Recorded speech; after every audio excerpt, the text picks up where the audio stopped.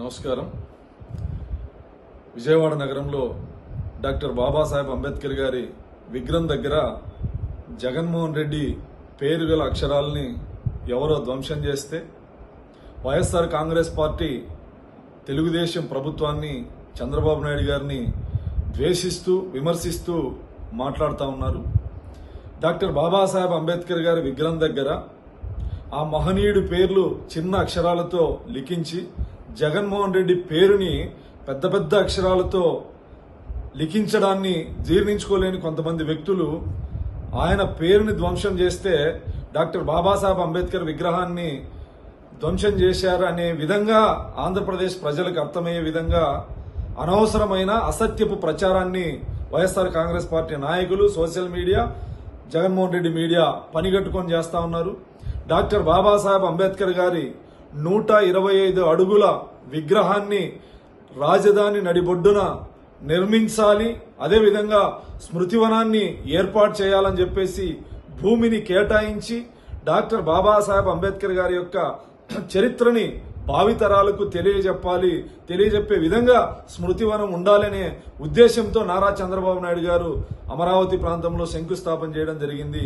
అక్కడ అంబేద్కర్ గారి విగ్రహాల్ని సైతం దొంగలించినటువంటి వైఎస్ఆర్సీపీ నాయకులు డాక్టర్ బాబాసాహెబ్ అంబేద్కర్ గారి పేరు మీద విద్యార్థులకి స్ఫూర్తినివ్వాలని చదువుకి కులం కానీ ఆర్థిక పరిస్థితి కానీ అడ్డు రాకూడదని డాక్టర్ బాబాసాహెబ్ అంబేద్కర్ గారి జీవితాన్ని స్ఫూ విద్యార్థుల్లో స్ఫూర్తిని నింపొందించేందుకు నారా చంద్రబాబు నాయుడు గారు విదేశీ విద్యకు డాక్టర్ బాబాసాహెబ్ అంబేద్కర్ గారి పేరు పెట్టి అంబేద్కర్ విదేశీ విద్య అని నామకరణం చేస్తే జగన్మోహన్ రెడ్డి గారు విదే అంబేద్కర్ గారి విదేశీ విద్య పేరుని తీసేసి జగనన్న విదేశీ విద్య అని చెప్పేసి పెట్టుకున్నటువంటి మూర్ఖుడు జగన్మోహన్ రెడ్డి. ఆ రోజు మాట్లాడని వైఎస్ఆర్ కాంగ్రెస్ పార్టీ నాయకులు ఈరోజు రోడ్ల మీదకి వచ్చి డాక్టర్ బాబాసాహెబ్ అంబేద్కర్ గారి పేరు ఉచ్చరించడానికి కూడా అర్హత లేనటువంటి వీళ్ళు. డాక్టర్ బాబాసాహెబ్ అంబేద్కర్ రాజ్యాంగాన్ని ఐదు సంవత్సరాల్లో అమలు చేసినటువంటి దాఖలాలు లేవు.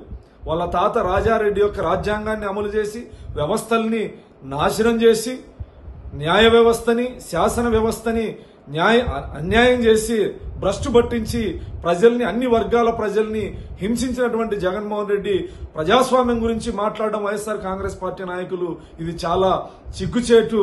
ఇరవై ఏడు దళిత సంక్షేమ పథకాలు రద్దు చేస్తే నోరు మెదపని వైసీపీ నాయకులు. ఈరోజు జగన్మోహన్ రెడ్డి గారి పేరుని ఎవరో ఆకతాయిలు ధ్వంసం చేస్తే ఈరోజు నానా యాగి చేస్తున్నటువంటి వీళ్ళు గతంలో మనుషుల్ని చంపేసి డోర్ డెలివరీ చేస్తే నోరు మెదపనటువంటి వీళ్ళు ఈరోజు చంద్రబాబు నాయుడు గారి ప్రభుత్వాన్ని కూటమి ప్రభుత్వానికి చెడ్డ పేరు తెచ్చే విధంగా దళితుల్లో విద్వేషాలు రెచ్చగొట్టే విధంగా ఈరోజు వాళ్ళ మీడియాలో కానీ సోషల్ మీడియాలో కానీ వైఎస్ఆర్ కాంగ్రెస్ పార్టీ నాయకులు చేస్తున్నటువంటి అల్లరి ఏదైతే ఉందో ఈ రాష్ట్ర ప్రజలు దీన్ని నమ్మాల్సినటువంటి అవసరం లేదు.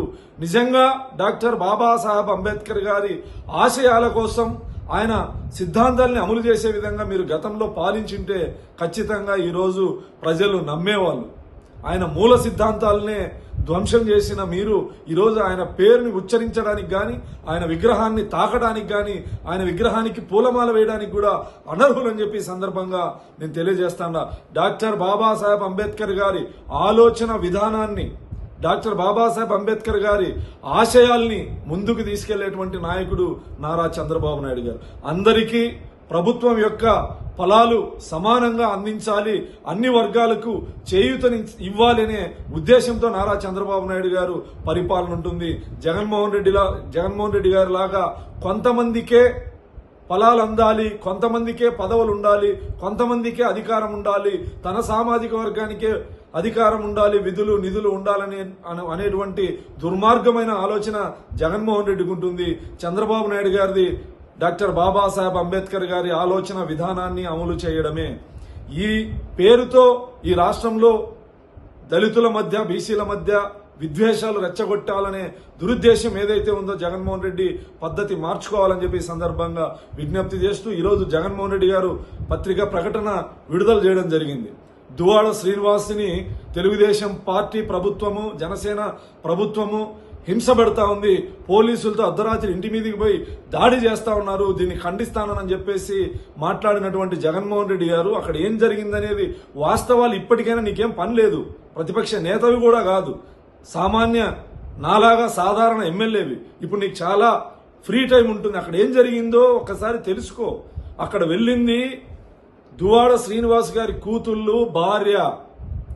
రెడ్ హ్యాండెడ్గా ఇంటి మీద దాడికి పోతే పోలీసులు గొడవ జరగకుండా ఆపితే వీధి రౌడీలాగా కూతుర్లని కూడా కొట్టడానికి అక్కడ ఉన్నటువంటి కర్రలు తీసుకొని వచ్చే వీధి రౌడీకి సపోర్ట్ చేస్తూ మాజీ ముఖ్యమంత్రి స్థాయిలో నువ్వు మాట్లాడుతున్నావంటే అసలు నీకు బుద్ధి ఉందా అని చెప్పి నేను సందర్భంగా ప్రశ్నిస్తా ఉంటా గతంలో అనేక వేదికల మీద పవన్ కళ్యాణ్ ఈ రాష్ట్ర ఉప ముఖ్యమంత్రి పవన్ కళ్యాణ్ గారిని ఉద్దేశించి మాట్లాడుతూ ఒక భార్య ఉండగా మరొక పెళ్ళి చేసుకున్నాడని చెప్పేసి మాట్లాడే పవన్ కళ్యాణ్ గారు చట్టబద్ధంగా విడాకులు ఇచ్చిన తర్వాత మరొకరిని వివాహం చేసుకోవడం జరిగింది.